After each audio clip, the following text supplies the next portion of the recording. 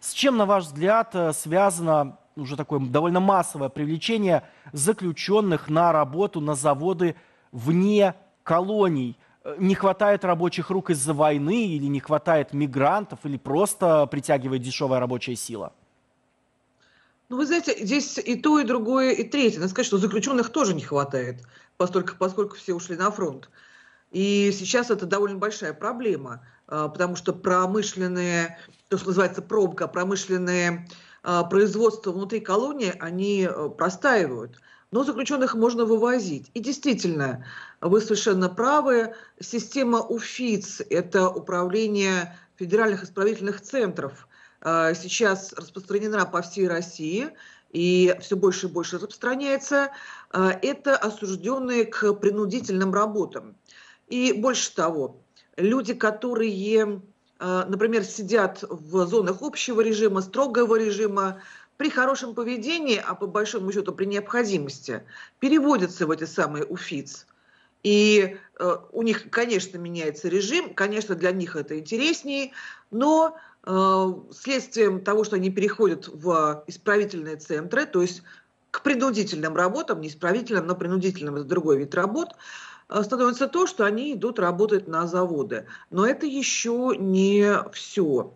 Э, дело в том, что есть довольно сложные манипуляции да, производственные, когда надо выходить на завод и работать на танковых заводах, на снарядных заводах, требует какой-то квалификации присутствия на заводе. Но есть еще, знаете, свобода от работы время, которое тоже принято в колониях занимать. Во всех совершенно колониях, особенно в женских, а, плетут в свободное, я подчеркиваю, от работы время маскировочные сетки. Это тоже везде. Или делают какие-то простейшие, простейшие такие операции, делают какие-то там, я не знаю, там, ну, естественно, окопные свечи, какие-то коврики, а, шьют форму, это просто тоже повсеместно.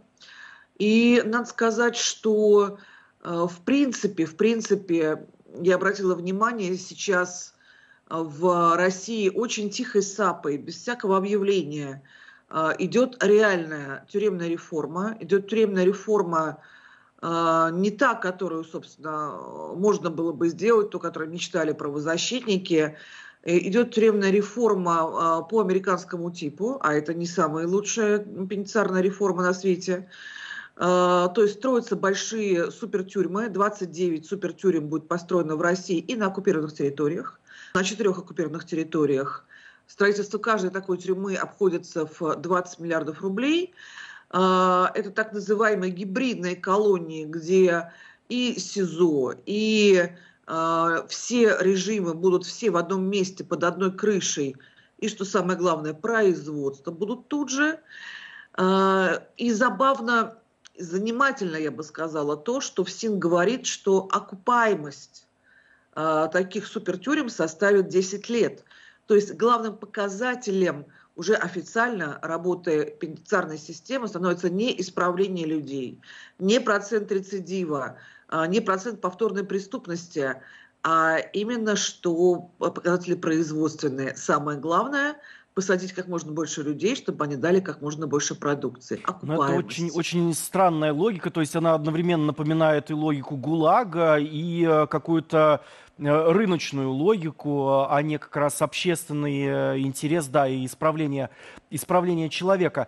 Но вот скажите, пожалуйста, не возникает ли если, если действительно стараются все больше и больше занимать э, заключенных на производствах, не возникает ли какого-то черного рынка рабов? То есть э, можно просто поставлять заключенных максимально. Начальник колонии становится таким э, хозяином рабочей силы, он может ее продавать, чтобы обогащаться.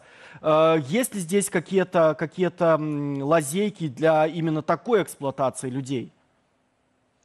А, ну, вы знаете, я вчера нашла а, пресс-релиз, довольно случайно встретила пресс-релиз одного из региональных а, гуфсинов, и там было сказано просто напрямую, черным по белому, что главной отраслью, главной отраслью в СИН является поставка рабочей силы на производство. А, да, действительно, не то чтобы дешевая, это дармовая рабочая сила. А, плюс ко всему, никогда в отношении заключенных а, не приходит проверять никакая трудовая инспекция, как-то все, как соблюдаются условия труда. Они не соблюдаются, и на ставку обычно, на одну ставку оформляется по 10-15 человек.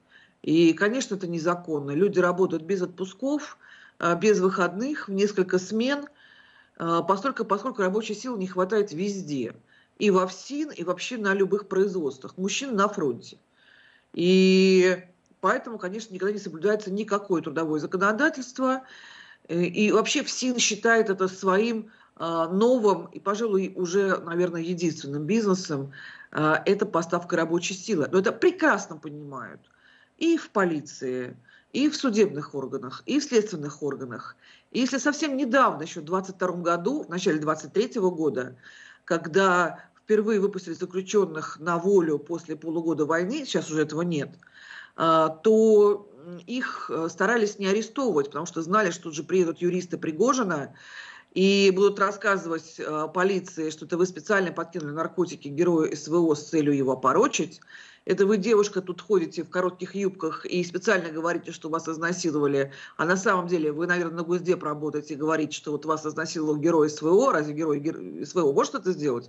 Их отмазывали по-всячески. А сейчас наоборот а, сажают и их, и не их, и кого угодно. Мужчин стараются сажать чуть ли не за переход улицы в неположенном месте, за любую очень небольшую правонарушение или провинность, стараются как можно больше сажать, именно для того, чтобы пополнять э, и рабочую силу, и э, пушечное мясо, поскольку, поскольку с марта этого года поправки подписал Путин в УК и ВПК, которые позволяют брать э, на войну на любом этапе еще до суда, еще даже до следствия. А уж если ты осужден, то, конечно, это военное производство.